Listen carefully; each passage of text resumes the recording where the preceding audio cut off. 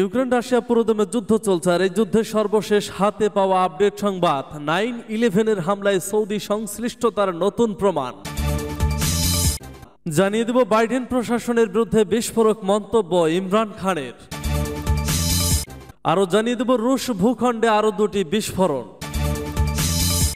জানিয়ে দেব, ওডেশার বিমানবন্দরে রুশ মিসাইল হামলা রানওয়ে অকার্যকর। আরও জানিয়ে দেব, সাবমেরিনে ক্রুজ মিসাইল বহনের কথা স্বীকার করল রাশিয়া। এবং সর্বশেষ জানিয়ে দেব, লেবানন বা ইরানে হামলা হলে চড়া মূল্য দিতে হবে ইসরায়েলকে হিজবুল্লাহ প্রদান। শুনছিলেন সংবাদ শিরোনাম, এখন বিস্তারিত। তবে তার আগে অনুরোধ থাকবে, ভিডিওটিতে একটি লাইক এবং কমেন্টস করে জানিয়ে দিন, আপনি কোন জেলা থেকে বা কোথা থেকে আমাদের সংবাদ শুনছেন এবং দেখছেন। ভিউয়ার্স আপনি যদি আমাদের চ্যানেলটিতে নতুন হয়ে থাকেন তাহলে অবশ্যই চ্যানেলটি সাবস্ক্রাইব করে পাশে থাকা বেল আইকনে ক্লিক করে আমাদের সাথেই থাকুন। নাইন ইলেভেনের হামলায় সৌদি সংশ্লিষ্টতার নতুন প্রমাণ।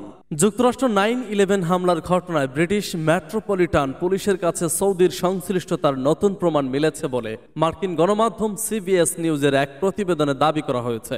ইংল্যান্ডে বসবাসকারী নিউ ইয়র্কের এক বাসিন্দার পরিবারের সদস্যদের কাছ থেকে পুলিশ এসব তথ্য প্রমাণ উদ্ধার করে বলে সিবিএস নিউজের ওই প্রতিবেদনে উল্লেখ করা হয়েছে। খবর আরব নিউজের।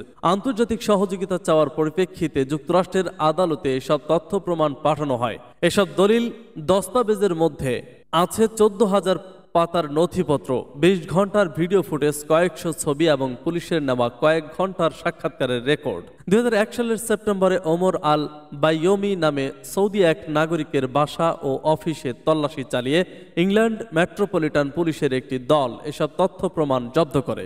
সৌদি ওই নাগরিকের বাসা থেকে উদ্ধার করা একটি ভিডিও ফুটেজের দুই বিমান ছিনতাইকারী খালিদ আল মেহদার ও নওয়াফ আল হাজমিকে তিনি পৃষ্ঠপোষকতা করেছেন বলে প্রমাণ পাওয়া গেছে বলে ব্রিটিশ পুলিশের দাবি। দুই হাজার সালে সান দিয়াগোতে Omar al Bayoumi nine eleven এর দুই হামলাকারীর সঙ্গে সৌদি কর্মকর্তাদের সাক্ষাৎ করিয়েছিলেন। এ সময় সেখানে ইয়েমেন বংশোদ্ভূত মার্কিন ইসলামী চিন্তাবিদ আনোয়ার আল আউলিয়াকে কোলাকুলি করতে দেখা যায়। আল কায়দা নেতা সন্দেহে দুই সালে তাকে ইয়েমেনে মার্কিন বাহিনী তাকে ড্রোন হামলা চালিয়ে হত্যা করে। যেসব নথিপত্র জব্দ করেছে পুলিশ, তার মধ্যে একটি বিমানের আঁকা ছবিও রয়েছে। নাইন ইলেভেন হামলার দুই সপ্তাহ পরই ব্রিটেনে পুলিশের হাতে ধরা পড়েন অমর আল বাইয়মি এসব দলিল এখন যুক্তরাষ্ট্রের আদালতে পাঠানো হচ্ছে। তবে বরাবরের মতো এবারও টুইন টাওয়ার হামলায় নিজেদের সংশ্লিষ্টতা অস্বীকার করে আসছে সৌদি আরব। তবে বিশ্লেষকরা মনে করছেন সৌদি আরব সম্প্রতি ইরানের সঙ্গে দ্বন্দ্ব নিরসনের যে উদ্বেগ নিয়েছে, তাতে বাধা সৃষ্টি করতে এবং রিয়াদকে মার্কিন বলয়ে ফিরে আনতেই নতুন এই তথ্য প্রমাণ হাজির করা হচ্ছে। বাইডেন প্রশাসনের বিরুদ্ধে বিস্ফোরক মন্তব্য ইমরান খানের। পাকিস্তানের সাবেক প্রধানমন্ত্রী ইমরান খান সোমবার তাকে প্রধানমন্ত্রীর পদ থেকে সরিয়ে দেওয়ার জন্য সরাসরি যুক্তরাষ্ট্রের বর্তমান প্রেসিডেন্ট জো বাইডেন ও তার প্রশাসনকে দায়ী করেছেন। তাকে ক্ষমতাচ্যুত করার জন্য এর আগে আকারের ইঙ্গিতে যুক্তরাষ্ট্রকে দায়ী করেছিলেন ইমরান। কিন্তু সোমবার কোনো ইঙ্গিত না দিয়ে সরাসরি দেশটিকে দায়ী করেন তিনি।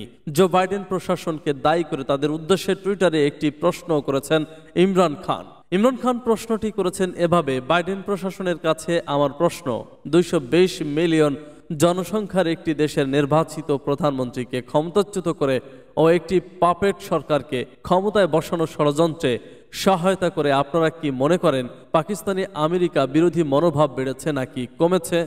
এদিকে গত দশই এপ্রিল ইমরান খানের বিরুদ্ধে অনাস্থা প্রস্তাবের ওপর ভোটাভুটি হয়। এরপর সেদিন তাকে অনাস্থা ভোটে ক্ষমতা হারাতে হয়। ইমরান খান প্রথম থেকে এ বিষয়টিতে যুক্তরাষ্ট্রকে দায়ী করে আসছেন। সূত্র জিও নিউজ।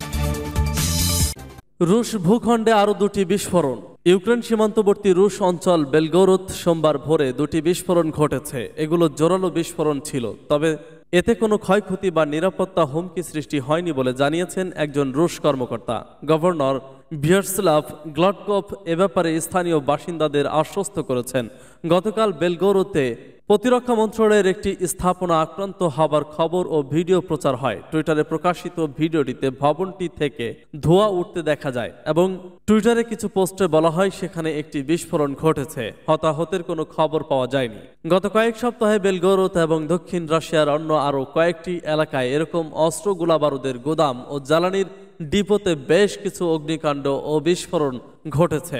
ইউক্রেন সরাসরি এসব আক্রমণের দায় স্বীকার করেনি, তবে এগুলোকে রাশিয়ার কৃতকর্মের ফল বলে বর্ণনা করেছে। ডনবাসে রুশ সৈন্যরা এগুচ্ছে, তবে ধীর গতিতে অন্যদিকে বিবিসির সংবাদদাতা জানাচ্ছেন, ডনবাস অঞ্চলে রুশ সৈন্যরা এগোচ্ছে, তবে তাদের অগ্রযাত্রা বিশৃঙ্খল এবং ধীর গতিতে হচ্ছে। কেভের বাহিনী বলছে, বিদেশি অস্ত্র সাহায্য পাওয়ার ফলে তাদের প্রতিরোধ সক্ষমতা ইতিমধ্যেই বেড়েছে। খার্গিভ শহরের চারপাশে কিছু এলাকায় ইউক্রেনীয় বাহিনী পুনরুদ্ধার করেছে বলেও দাবি করেছে। উভয় পক্ষ থেকে আক্রমণের দাবি। গত চব্বিশ ঘন্টায় রাশিয়া ও ইউক্রেন দুপক্ষই বেশ কিছু আক্রমণ, পাল্টা আক্রমণের দাবি করেছে যেগুলো নিরপেক্ষভাবে যাচাই করা যায়নি। রুশ বাহিনীর মুখপাত্র বলেছেন, তারা ইউক্রেনের ভেতরে অস্ত্রের গুদাম ও কমান্ডো পোস্ট সহ মোট আটত্রিশটি সামরিক টার্গেটের ওপর আঘাত এনেছে। রাশিয়া বলছে, লুহানুস্ক ও দুহানুস্কেও। অঞ্চলে পৃথক ঘটনায় তারা একটি ইউক্রেনীয় মেগ টোয়েন্টি নাইন যুদ্ধ বিমান, দশটি ইউক্রেনীয় ড্রোন এবং তিনটি ক্ষেপণাস্ত্র ধ্বংস করেছে। অন্যদিকে ইউক্রেন বলছে, তাদের নিক্ষিপ্ত একটি ড্রোন সোমবার ভোরবেলা কৃষ্ণ সাগরের দুটি রুশ টহল নৌযান ধ্বংস করে দিয়েছে। ইউক্রেনের বাহিনীর প্রকাশ করা ড্রোন ফুটেজে দেখা যায়, কৃষ্ণসাগরের জিমিনি, দ্বীপের কাছে টহলরত দুটি রুশ র্যাপটর। শ্রেণির নৌযানে আকাশ থেকে ক্ষেপণাস্ত্র দিয়ে আঘাত আনা হচ্ছে। এ ভিডিওর সত্যতা যাচাই করা যায়নি এবং মস্কো এ দাবির ব্যাপারে এখনও কোনো মন্তব্য করেনি। এছাড়া মারিওপোল শহরের আজহবি স্টল কারখানা থেকে বেসরকারি লোকজনকে বের করে নিয়ে যাবার পরই তার উপর রুশ বাহিনী আবারও গোলাবর্ষণ শুরু করেছে। ওডিশার কাছে কৌশলগতভাবে গুরুত্বপূর্ণ সেতুতে হামলা, রয়টার্স জানাচ্ছে দক্ষিণ পশ্চিম ইউক্রেনে একটি কৌশলগতভাবে গুরুত্বপূর্ণ সেতুতে একটি রুশ ক্ষেপণাস্ত্র আঘাত এনেছে। ওডিশা অঞ্চলের স্থানীয় প্রশাসনের একজন মুখপাত্র টেলিগ্রামে অ্যাপে এ খবর দিয়েছেন। তবে আর বিস্তারিত কিছু জানাননি। দনিয়াস্টার মোহনার ওপর তৈরি করা গুরুত্বপূর্ণ এই সেতুটি ওডেশা, দক্ষিণাঞ্চলের সাথে বাকি ইউক্রেনের একমাত্র সড়ক ও রেল সেতু হিসেবে কাজ করছে। এর আগেও রুশ বাহিনী অন্তত দুবার এই বৃষ্টির উপর আঘাত এনেছে। আরেক খবরে ইউক্রেনীয় সূত্রে আভাস দেওয়া হয় যে, নিকট ভবিষ্যতে রাশিয়া মলধোভা আক্রমণ করতে পারে কারণ তাতে রাশিয়ার পক্ষে ওডেশা অঞ্চলে দ্বিমুখী আক্রমণ চালানো সহজ হবে, সূত্র বিবিসি। ওডেশার বিমানবন্দরে রুশ মিসাইল হামলা রানওয়ে অকার্যকর। ইউক্রেনের ওডেশা বিমানবন্দরে মিসাইল হামলা চালিয়ে রানওয়ে বিধ্বস্ত করে দিয়েছে রুশ সেনারা। রোববার আল জাজিরার লাইভ প্রতিবেদনে জানানো হয় এই তথ্য। ওডেশা ইউক্রেনের তৃতীয় বৃহত্তম শহর ও কৃষ্ণ সাগরের পাড়ে অন্যতম একটি বন্দর। শহরটির গভর্নর জানান, ক্রাইমিয়ার দিক থেকে ছোড়া হয়েছে ক্ষেপণাস্ত্র। এতে হতাহতের কোনো খবর পাওয়া যায়নি। তবে বিমানবন্দরটি আর কোনোভাবেই ব্যবহার উপযোগী নেই বলে জানিয়েছে দেশটির দক্ষিণাঞ্চল অপারেশনাল কমান্ড। থেমে থেমেই বিস্ফোরণের আওয়াজ পাওয়া যাচ্ছে। অঞ্চলটিতে আশেপাশের বাসিন্দাদের বাংকারে বা নিরাপদ আশ্রয় থাকার নির্দেশনা দিয়েছে স্থানীয় কর্তৃপক্ষ। এক টেলিগ্রাম পোস্টে ইউক্রেনের অপারেশনাল কমান্ড সাউথ জানায়, ক্ষেপণাস্ত্র হামলার ফলে ওডেশা রানওয়ে ব্যবহার করার কোনো উপায় নেই, যদিও বিষয়টি নিয়ে এখনও কিছু জানায়নি রাশিয়া। সাবমেরিনে ক্রুজ মিসাইল বহনের কথা স্বীকার করল রাশিয়া। রুশ প্রতিরক্ষা মন্ত্রণালয় স্বীকার করেছে যে, ইউক্রেনে হামলা চালানোর জন্য কৃষ্ণ সাগর দিয়ে সাবমেরিনের মাধ্যমে ক্রুজ মিসাইল বহন করেছে দেশটি।